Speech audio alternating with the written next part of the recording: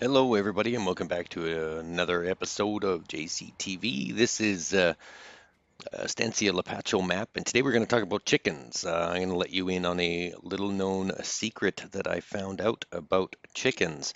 So, when people buy chickens for their coop, they usually uh, stick to one color, uh, either white, brown, or black, along with their rooster.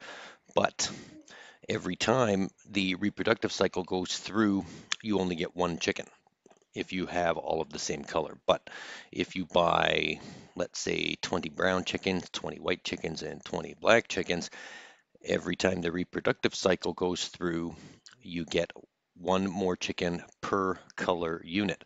So each unit will, each color unit will produce their own chicken. So at the end of the reproductive cycle in an hour, we should have uh, one more chicken per color. So essentially, we didn't get one more chicken, we got three. So let's just speed time up a little bit and uh, we'll see here. We should get three chickens instead of one at the end of this hour.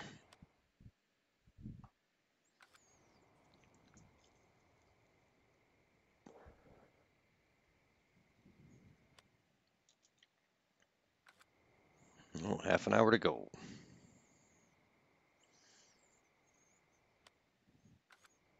And 15 minutes.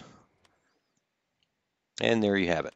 See, we've got three chickens in total. So each color reproduced their own colored chicken. So we didn't end up with one extra chicken, we got three.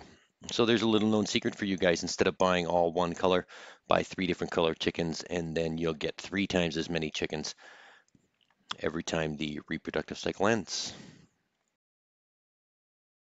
So that was all I had to share for today, folks. Watch out for another video coming soon. We're just finishing up uh, on the cutting room floor, and we should have that out uh, maybe later on today or tomorrow. Uh, for now, this is JCTV saying see you later.